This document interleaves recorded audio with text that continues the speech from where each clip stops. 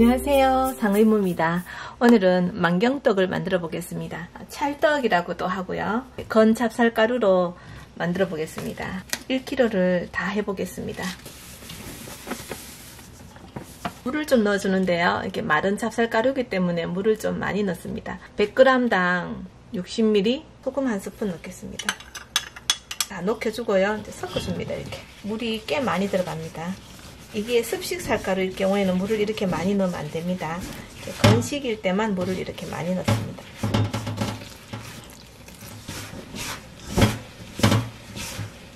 부벼주면서 물을 어, 계속 더 넣도록 하겠습니다.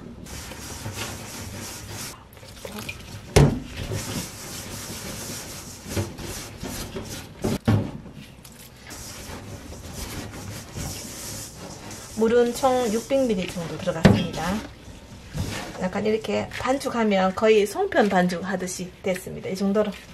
이제 마른 찹쌀가루는 이 정도로 물을 넣어도 됩니다. 설탕을 넣어주겠습니다. 설탕도 이렇게 100g당 한 스푼씩만 넣을게요.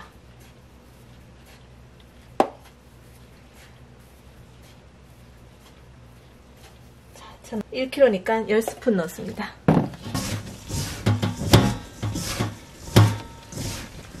골고루 섞어준 다음에요.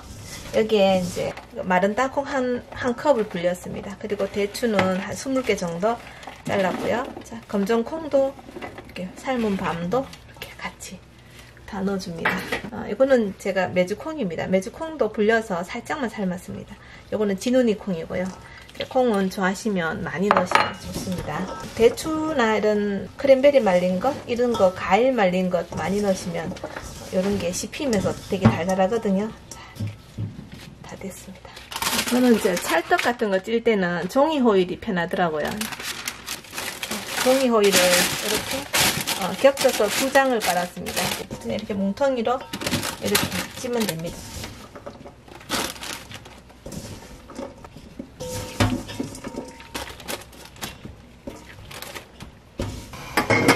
이렇게 넣고요. 이제 푹 찌겠습니다. 한 강불로 한 30분만 푹 쪄도 됩니다. 한 지금 강불에서 한 30분 어, 끓였거든요. 다 쪄진 것 같아요. 확인을 해보겠습니다. 밑에까지 어, 밑에까지 완전히 다 쪄졌습니다. 다 됐습니다. 불 끄겠습니다. 자 이렇게 어, 장갑 비닐 끼고요. 또 도마에도 비닐 한 개 씌웠습니다. 그리고 식용유와 참기름을 이렇게 발라서 여기도 바르고요. 준비를 해 놓겠습니다. 그리고 여기 비닐에도요. 기름을 조금 발라 놓겠습니다. 아, 이건 나중에 썰 때 사용하겠습니다. 뜨거운 걸 바로 떡을 떼어냅니다.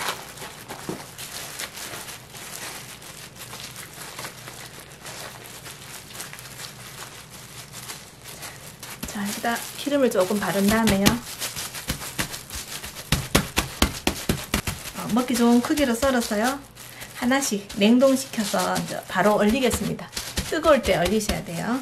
자, 아까 기름 발랐던 비닐을 덮어서요. 자, 이렇게.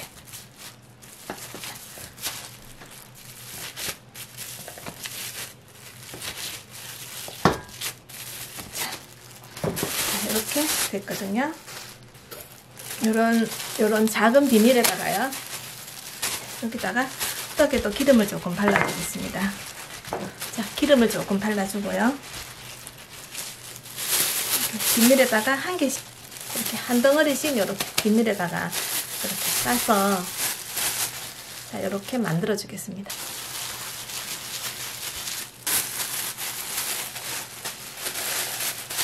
자, 이렇게 만들었습니다. 이거는요 뜨거울 때 바로 냉동시키겠습니다. 녹아, 녹으면 바로 드실 수 있고요. 이거 바로 드실 거는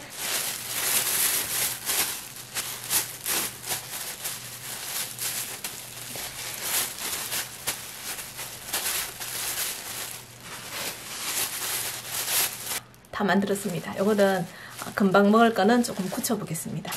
자 이렇게 떡이 많이 나왔습니다. 이렇게 해서 냉동실 넣어놨다가 한 개씩 꺼내서 녹여 드시면 식사 대용으로 참 좋습니다. 저는 냉장실에서 한 몇 시간 넣어놨던 이렇게 약간 쫀득쫀득하게 굳었습니다. 그냥 아침으로 녹여서요 하나씩 떡에다가요 물을 좀 발라줍니다.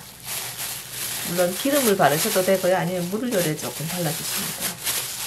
가위에도 물을 좀 발라주면 그리고는 이렇게 똑똑 끊어 놓으면 됩니다. 이렇게 한, 한 입씩 크기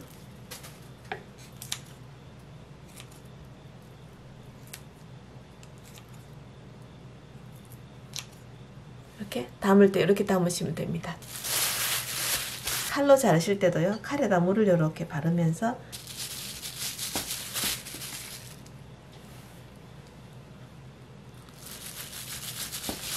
물 발라가면서 이렇게 자르시면 됩니다. 지금 되게 쫀득쫀득하게 지금 굳어 있거든요. 자, 먹어보겠습니다. 음, 아주 맛있습니다. 음, 대추가 아주 달아요. 음. 노란 콩이 되게 맛있습니다. 그 대신에 살짝 삶으셔야 돼요.